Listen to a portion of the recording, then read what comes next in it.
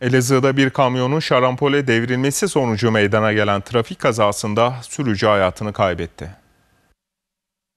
Elazığ'da meydana gelen trafik kazasında bir kişi hayatını kaybetti. Kaza Elazığ Çemişgezek Karayolu'nda bulunan bir inşaat şantiyesinde meydana geldi. İddialara göre 43 yaşındaki Ferit Bilbey idaresindeki kamyon sürücüsünün direksiyon hakimiyetini kaybetmesi sonucu şarampolden aşağı yuvarlandı. Haber verilmesi üzerine olay yerine sağlık, jandarma ve itfaiye ekipleri sevk edildi. Olay yerine gelen sağlık ekipleri sürücünün hayatını kaybettiğini belirledi. Bilbey'in cansız bedeni yapılan incelemeleri ardından Fırat Üniversitesi Hastanesi morguna kaldırıldı. Kazayla ilgili inceleme başlatıldı.